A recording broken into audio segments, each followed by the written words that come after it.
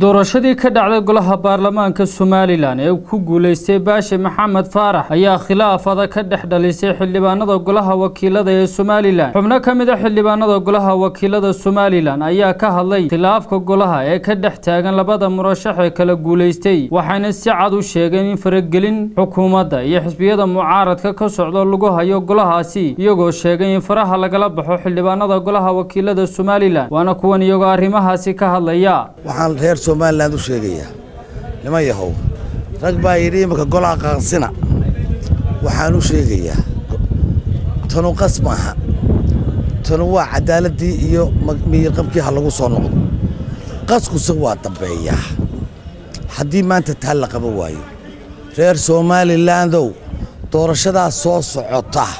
Waxay ka wato kulmiye wax iyadana u dana maaha wax qarankana u dan maaha waxaynu ku baaba'ayna weeye. Mar dambena dib dambena aan somalilan loo soo qabanayn. Haddaynu maanta midhkaa qaban weyno oo ka hortegi weyno oo laydinka dhaadhiciyo oo laydinka dhaadhiciyo waddani baa wax qasaya anna waxba qasi mayno ilaahay baa nagu og. Waxaynaan arag oo aynaan maqal ayaa goli ka dhex dhacay.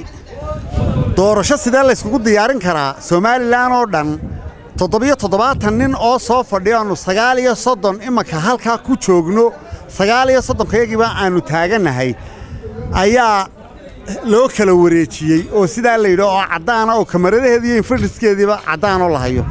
Waxaan aad iyo aad uga xumahay golahan looga talin maayo madaxtooyada ee wada shaqayn baa ka dhaxayn doonta xafiis uu noqdo qayb madaxtooyada ah golahani noqon maayo waa golihii sharci dejinta. Arrintaa waxaannu leennahay ma dhici karto. Anugu raggii xildhibaannadaha meesha joogay baan ahaa. Codkayga waxaan siiyey talyan leh. Markii golaha laga soo baxay ragguu istirsaday sagaal iyo soddon xildhibaan oo talyan loo codeeyey ayaa jira. Uu mid waliba isagoo xoro xalaala yidhi anuu codkayga waxaan siiyey talyan leh halka iska dhaaftay waa markii tirada la gudbinayey laakiinse waxa cad oo fideona lagu hayaa saxiixiina la hayaa xildhibaannadiina mid walba halkiisa loogu tegoo la soo taabtay. Sagaal iyo soddonkaa xildhibaan inay siiyeen talyan leh. Iminka xaaladdan taagani sagaal iyo soddonkii xildhibaan ee uu codeeyey cabdiraxmaan maxamed talyanlemaa ka mid ah. Sagaal iyo soddonkaasi halkaasay taagan yihiin annagaa u codaynay baan taaganna ma garanaysaa ninka la fadhiisiiyey meeshu siddeed iyo soddon buu haystaa baannu aaminsannahay balanta wuxuu meesha ku fadhiya halkaasna ha keensado hadday maxkamadii xukumayso wataa kala cad. Hadduu dadweyne xukumayo wataa kala cad sagaal iyo soddonkii baa la kala yahay. Golu wuxuu marayaa haddii aan sharciga iyo lagu soo dabaalin maxay ahaydey sida rasmiga ah oo aan guddoomiyihii helay doorashada kursigii looga kicin xaaladda goolu waxay maraysaa xaalad ay u qorshaysay xukuumadda jirta. Yidhi guddoomiyihii shir guddoominayey. Inamadana waa dhaariyey. Anna waa dhaartay. Markaa annagoo taa og oy shaqaalihii golahana ahaayeen ayaannu markaannu istirinay. Markiiba waxaanu dabacnayaannu jooji tirada markii iyarka bacdi. Haddana iyadoo aannu arkayna waa kii ninkii meeshii la fadhiisiiyey waxay khasab noqotay inaannu annagu waa u qaadan weyne markaaba annagoo tuhunka qabnaa. Inaannu xaalad dib u eegnay iyo maxay ahaydey sidii waxu dhaceen waxaannu ogaannay oo aannu tiradayada dib u tirinnay oo aannu konfeem garaynay. In nin dheeriga u lahaa maxay ahaydey cabdiraxmaan maxamed talyan baarlamaanku inuu ku xidhmo madaxtooyada ma aha. Dawladduna inay tidhaahdo baarlamaanka ay ka rajayso ninka guddoomiyaha ka ihi inuu iyaga hadee jaraar ku taageera u ahaada ma aha. Saas dimuqraadiyad ma aha. Dowladda ku shaqaysa waddan lagaga shaqeeyaana midna ma uusan jiro. Maantana khaladkaa dhacay inuu mid loo bareeran yahay iyo mid khalad ku dhacay inuu yahay. Horta waannu haynaa markhaatiyadii lix iyo labaatan xildhibaan oo waddaniya cabdiraxmaan maxamed talyanle ayay u codeeyeen labiyo toban xisbiga muxaafidka ka tirsanina waxay u codeeyeen cabdiraxmaan maxamed talyanle aniga waddanina ma ihi kulmiyana ma ihi. Markaan soo galo golaha waxaan ku saxaa independence baan ahay nin mustaqila oo xora. Anna waanu codeeyey waa sagaal iyo soddon. Sagaal iyo soddon markhaatigoodiina waa la hayaa.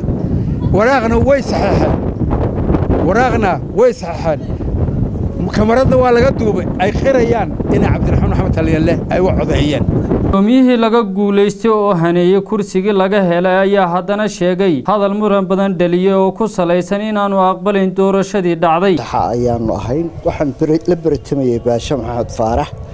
Tiradii markii la soo koobay guddoomiyihii wuxuu ku dhawaaqay sida aad maqasheen in cabdiraxmaan talyallena siddeed iyo soddon dooratay baashana sagaal iyo soddon.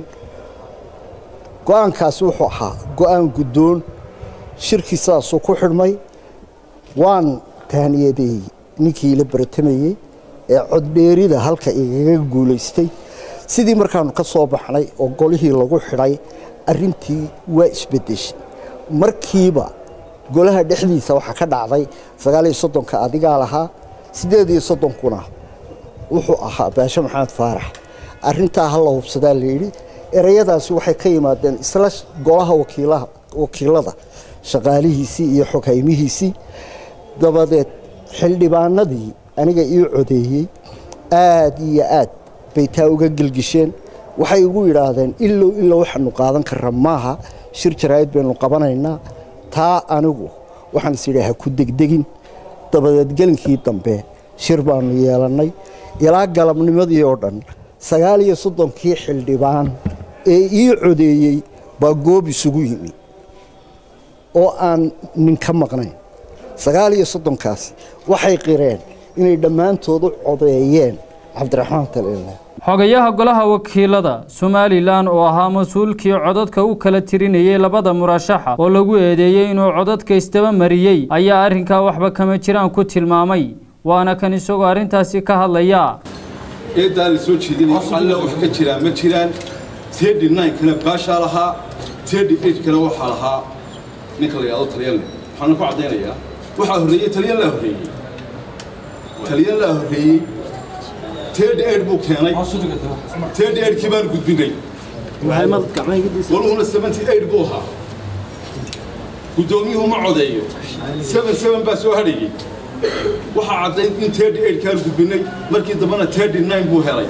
Sidaasuu ku ansaxay caddaynaya wasiirka xidhiirka golayaasha somalilan oo warbaahinta kula hadlayay magaalada hargeysa ee caasimadda somalilan ayaa ka hadlay doorashadii ka dhacday golaha baarlamaanka somalilan wuxuuna si cad u sheegay in doorashadaasi la kala guulaystay. Horta bismillahi raxmaan raxiim horta dee su'aashaasi waxa weeyaan su'aal ma aragtay maanta jawaabteedii anaha boleel maadaama uu shalay tolo dhacay foodkii oo ay dhammaatay kubad gool maarata la dheliyey oo ninkii rigoorihii yidhi waa waa gool.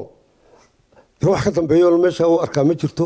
Hadday intaa dhaaftana waxay xaq u leeyihiin de inay maaratay maxkamadda constitutional courtka la yidhaah inay de tagaan oo wixii ay dacwad ka qabaan ay ka qabaan.